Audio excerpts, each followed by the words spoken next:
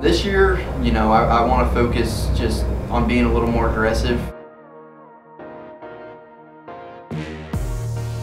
Taking those chances. I know I deserve to be up front now, and I'm, uh, I'm going to do everything I can to get up there. It's our third full year in the Pro Lite class, and I think it's time to start pushing, start being aggressive, and uh, kind of finish where I deserve to be.